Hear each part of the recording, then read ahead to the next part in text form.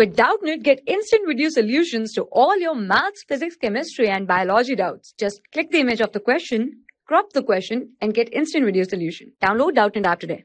Hello everyone. If we talk about this question, this given question is what kind of charges are produced on the glass rod and the silk when rubbed with each other?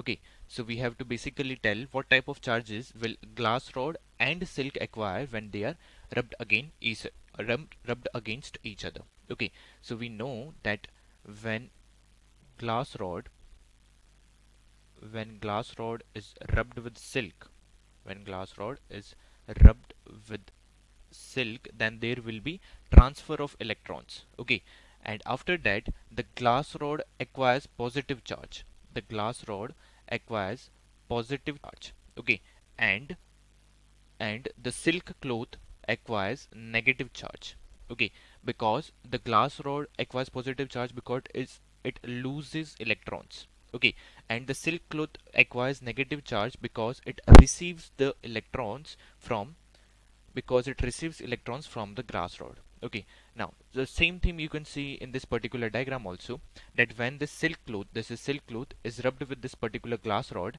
okay then glass rod is acquiring positive charges okay and the silk cloth is acquiring negative charges as you can see in this diagram okay i hope you understood thank you For class 6 to 12, IIT JEE and NEET level.